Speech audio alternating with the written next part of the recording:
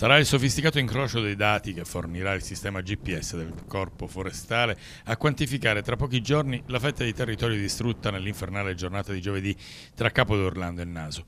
Intanto però una prima stima parla di circa 200 ettari, 50 di superficie boschiva e macchia mediterranea e gli altri 150 di colture e terreni agricoli mandati in fumo dal solo incendio partito da Contrada Brucoli nel comune di Naso e spinto dal vento sino alle colline che circondano Capo d'Orlando.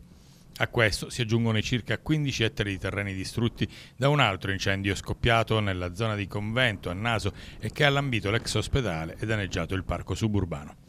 Appena aggiungeranno tutti i dati, che consentiranno anche una stima esatta dei danni economici, il carteggio verrà trasmesso dal disaccamento della forestale di Naso, coordinata dal commissario Vincenzo Polino, alla procura di Patti. Quasi certamente a quel punto partirà l'inchiesta che però, va detto, appare molto complicata. Accendere un rogo ed attentare alla vita di centinaia di persone, compromettendo anche l'ambiente e il territorio, purtroppo è un gesto criminale poco complesso e raramente vi è la collaborazione da parte dei cittadini.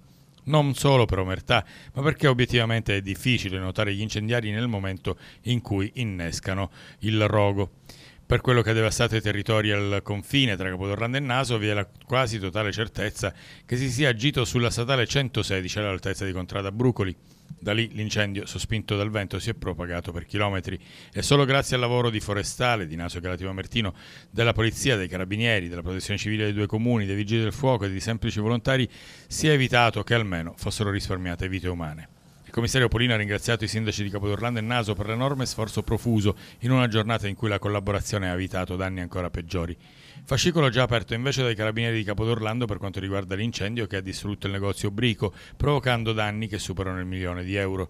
Si indaga per verificare le notizie secondo cui le fiamme che hanno letteralmente devastato l'attività commerciale e danneggiato un vicino deposito di ceramiche siano partite inavvertitamente da un uomo intento a bruciare sterpaglie nel suo giardino vicino. Se la circostanza fosse accertata, scatterebbe la denuncia.